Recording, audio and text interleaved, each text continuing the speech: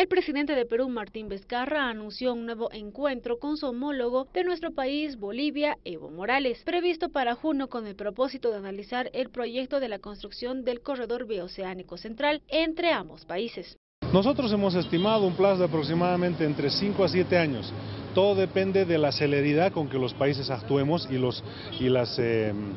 definiciones que tengamos en cuanto a inversión hace mucho eso. Entonces, esta reunión del 15 de junio va a ser muy importante para ver los pasos adelante y si nosotros tomamos las decisiones inmediatas, eh, dependiendo, reitero, de cómo lo vamos a encarar. Se anunció también que los miembros de Transporte de Perú, Bolivia, Brasil y Paraguay se reunirán este próximo 31 de mayo en la ciudad de Moquegua, de la provincia de Hilo de Perú, para analizar el potencial de ese puerto con el objetivo de que sea el punto de llegada del corredor bioceánico para dinamizar el sur de Perú. Eso es lo que tenemos que definir, pero hemos nosotros estimado este proyecto entre 5 a 7 años porque es un proyecto largo aliento, largo alcance, porque hay que no solamente pensar en lo que es infraestructura, hay que pensar en capacitación, hay que pensar en resolver los temas de, eh, de aduana, migración, porque hablar de un corredor, si es que la carga sale de hilo hacia Bolivia y que tengamos que tener una parada por aduana, eso no, no resuelve el problema. El presidente de Bolivia, Evo Morales, destacó que los proyectos que se tiene con nuestro país y el hermano país de Perú son a corto plazo y ratificó su compromiso para impulsar el desarrollo comercial de Puerto de Hilo.